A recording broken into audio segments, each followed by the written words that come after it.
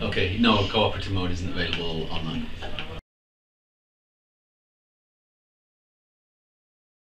Okay.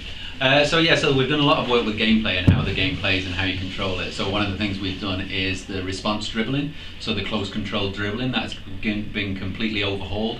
Um, there's all new animations in there, so what you will find is it's a lot more responsive. Um, it will stick to your foot more. You can do a lot more with it. So for for users who utilise that feature, they'll they'll notice big big difference and improvements is in that.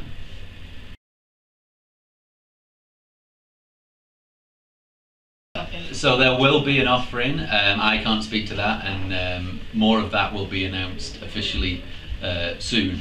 Uh, but rest assured, there will be something, but I can't talk to exactly the specifics of that right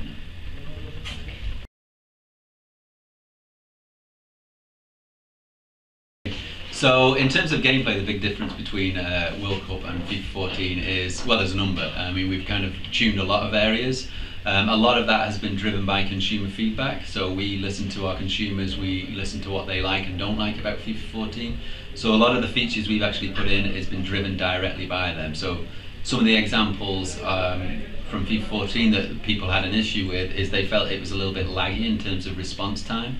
So we have introduced features to combat that. So features like explosive player movement. So the idea is that it reacts much quicker, much more responsive to your movement. So the players will accelerate faster, decelerate faster, turn faster. We've also um, lessened the uh, trapping error. So that was another feedback from FIFA 13. Often there was some frustration with the trapping area that was kind of out of your control. It would touch your feet and bounce off. So we've tuned that accordingly. We've also got pinpoint passing, which is the ability to get the ball to your teammates a lot quicker. So we've changed a lot um, based on feedback from FIFA 14, and I think what the, those users will notice is a, a, a big difference, uh, probably the biggest difference we've ever done in an event title in terms of the gameplay and how it plays. Uh, and then on top of that, there's a whole slew of new features specific to World Cup, so things like set piece, corner kicks, uh, the ability to call a set play at a corner kick, all new animations for the keeper during penalty kicks, new um, AI, and new intelligence at, at penalty kicks. Uh, plus uh, over 100 new animations in game. So I think users will notice a lot of difference between the two products, and, uh, and, and all the feedback so far has been very positive in the fact that it does play a very different and noticeably different game.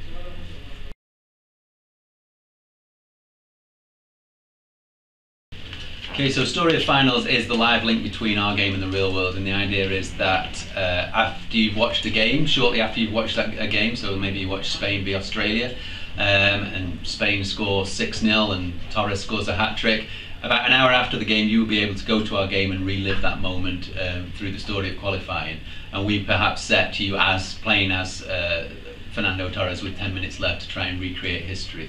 So that will be um, really exciting in the sense that we really want to capture the excitement and passion that you've just witnessed in the real world and transfer that to our game. So we want to make our game the go-to place after you've watched the real world game. And in terms of what um, the scenarios will be, that will be very much dictated by what happens in the real world. So we have control over the ability to start at any point in the game, so at any minute, uh, various situations, goal kick, free kick, kick off, penalty kick, um, all of these situations will uh, uh, will be replicated. So ultimately, what those scenarios are will be very much driven by what we see in the real world.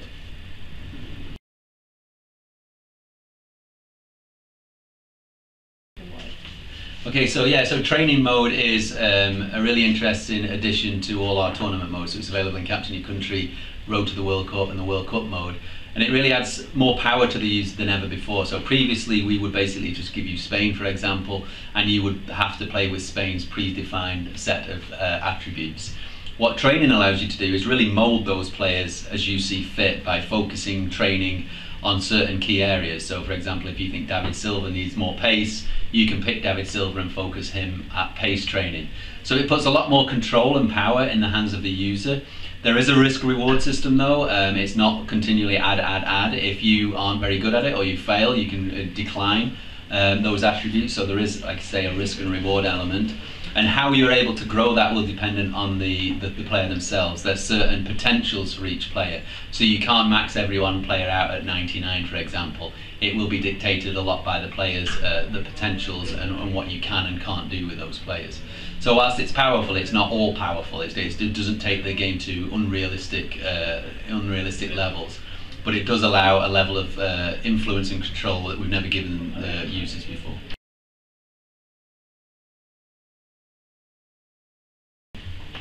Um, so yeah, so training is not all powerful, and you can't really uh, convert Afghanistan into Spain. You, you're limited in the sense that uh, for those guys particularly, you can only train four guys at once, so it's not like you can train the entire team. Training events are limited to uh, before each match, so you are limited in the number of those you have. It's not usually you can, can train train indefinitely. Um, so for an example of Afghanistan, you could get them to a certain level uh, not even close to, to the levels of Spain because you would have to pick a certain individual and get him up and there just isn't sufficient time within the schedule to do that. So again, we didn't want to make it all powerful, we didn't want to be able to do uh, create unrealistic teams. It's more focusing on key players that maybe um, work in the way you you play. So maybe you're like a fast-paced striker. So maybe you can take one player and, and, and focus on him throughout the course to turn him into that into that player. But you just don't won't have the time to kind of uh, completely turn around an entire team because again authenticity is key for us so we didn't want to take it to unrealistic levels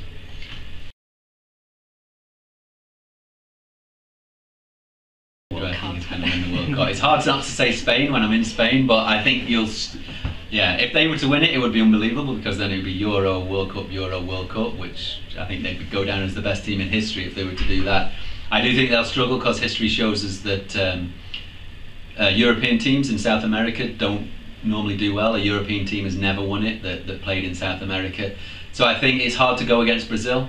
If they get the backing of the crowd and get off to a good start, I think they'll kind of be unstoppable. The one team I would say, depending on the way the draw works out, of course, that could potentially stop them and it'd be make a great final would be Argentina. Because I think man for man, they're a better team with the likes of Messi and Aguero, etc. But and, and they've got the added incentive of uh, you know uh, Brazil are their arch rivals, their arch nemesis. So were they to win it in Brazil's backyard, they would become legends forever in, in Argentina. So they've got their own motivation. So I think it's going to be between one of those two. Uh, if I had to pick one, it would be Brazil because if they, like I say, get the crowd behind them, we saw it in the Confederations Cup. Uh, I think they will be unstoppable. Okay.